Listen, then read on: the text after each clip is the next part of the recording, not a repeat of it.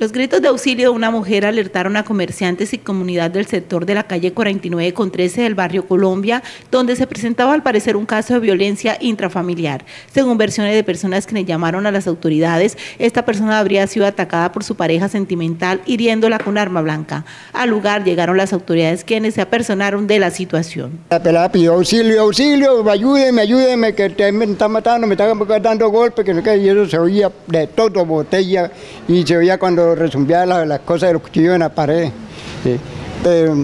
la pelada no quiere poner la denuncia, no tenía una puñalada en la pierna, una en el brazo, y golpes que se le veían en el cuerpo, pero todo es porque se le veía en la cara, pero el resto no más nada. Y la mano la tenía botando sangre.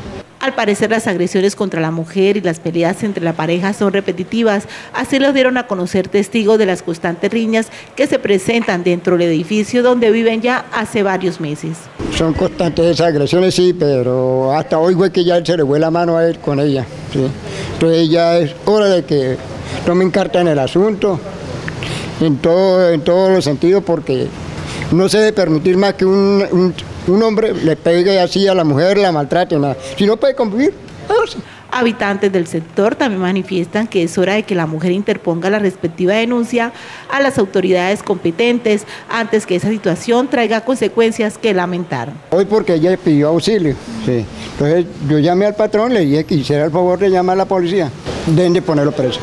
¿Por qué? Porque es un tipo mal para la humanidad, más para la mujer. Tipo que va a coger cuantas veces llegue trabajo, borracho, va a coger a maltratar, a pegarle. Eso no es así. La mujer que resultó herida en este hecho fue auxiliada por bomberos voluntarios y trasladada a un centro asistencial de la ciudad.